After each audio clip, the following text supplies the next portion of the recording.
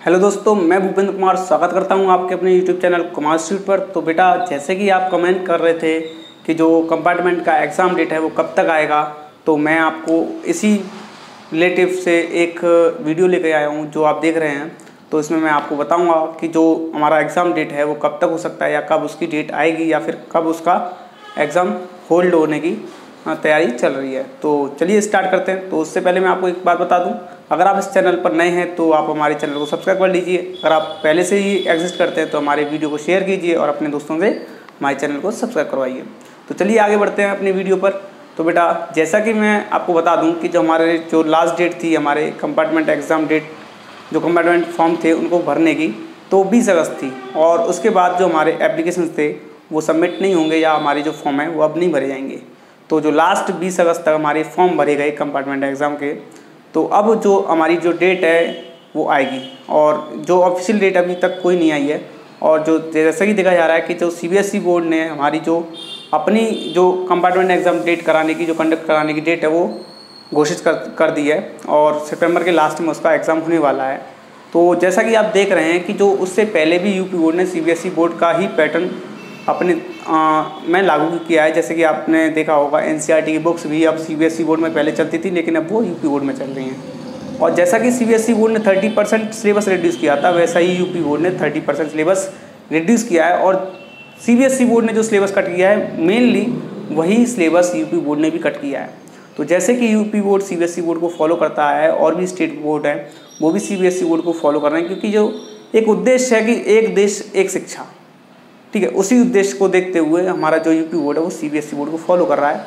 और जैसे कि आपको बता दें, जैसे सीबीएसई बोर्ड ने जो सेप्टेम्बर के लास्ट में एग्ज़ाम की जो डेट है, घोषित की है, इसी तरीके से हमारा जो यूपी बोर्ड है, वो भी एग्ज़ाम की जो डेट है, सितंबर के लास्ट में घोषित कर सकता है। लेकिन ऐसा कोई ऑफिशियली अपडेट नहीं है, अभी तक आया।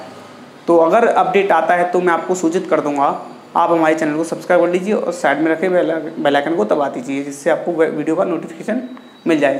तो चलिए एक बार और बता दूँ मैं आपको कि जो जो लास्ट की जो मतलब जो एग्ज़ाम की डेट है वो थोड़ा इंक्रीज़ भी हो सकती है और क्योंकि जो आप देख रहे होंगे कि जो आईआईटी नीट का जो एग्ज़ाम होना था, वो डेट जो आई है या फिर डेट को जो एक्सटेंड करने के लिए लोग आप वो है, वो विरोध कर रहे हैं कि जो आप डेट को एक्सटेंड कीजिए क्योंकि जो कोरोना का जो संक्रमण है वो काफ़ी तेज़ी से फैलता है और अगर आप एग्ज़ाम हेल्ड कराएँगे तो उसमें जो चांस है कि वो जो कोरोना संक्रमण है काफ़ी तेज़ी से बढ़े।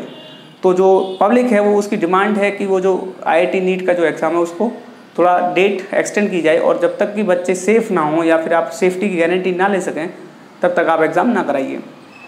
तो इसी को देखते हुए आई टी नीट का जो एग्ज़ाम है, वो हो सकता है पोस्टपोन हो सकता है या फिर एनडीए और एयरफोर्स के जो एग्ज़ाम थे, वो एन का एग्ज़ाम सितंबर में छः सितंबर को हो रहा है और एयरफोर्स के जो एग्ज़ाम की कोई डेट की खबर नहीं आई है। तो जैसा कि एन ने अपना जो एग्ज़ाम का जो डेट बताया छः सितंबर, इसी तरीके से आई आई भी अपना एग्ज़ाम करा सकती है। अगर आई आई के भी एग्ज़ाम हो सकते हैं तो हमारे यूपी बोर्ड के जो कंपार्टमेंट के एग्ज़ाम हैं, वो भी हो सकते हैं। आपने देखा होगा कुछ दिन पहले बी की जो प्रवेश परीक्षा थी, वो भी हुई थी और बी का एग्ज़ाम था, वो भी हुआ था। इसी तरीके से जब और अदर एग्ज़ाम हो सकते हैं तो हमारे कंपार्टमेंट का एग्ज़ाम भी हो सकता है। कोई चांस मतलब नहीं है कि जो एग्ज़ाम ना हो। तो पूरे पूरे चांस लग रहे हैं कि सितंबर के लास्ट में आपका एग्ज़ाम हो जाएगा। और आपकी जो ऑफिशियल डेट है, वो भी अनाउंस कर दी जाएगी बहुत ही जल्दी। लेकिन अभी कोई ऑफिशियल डेट अनाउंस नहीं हुई है। अगर आप हमारे चैनल के साथ बने रहते हैं तो आपको वीडियो मिल जाएगी। और इसके लिए आप हमारे चैनल को सब्सक्राइब कर लीजिए। जैसे ही कोई ऑफिशियल अपडेट आता है तो मैं आपको सूचित कर दूँगा नई वीडियो के साथ। जब तक के लिए बने रहिए। अगर हमारे चैनल पर आप नए हैं तो चैनल को सब्सक्राइब कर लीजिए। अगर आप पहले से ही एग्जिस्ट करते हैं हमारे चैनल पर तो अपने दोस्तों के साथ हमारी वीडियो को शेयर कीजिए और उनसे भी कहिए हमारे चैनल को सब्सक्राइब करें। धन्यवाद।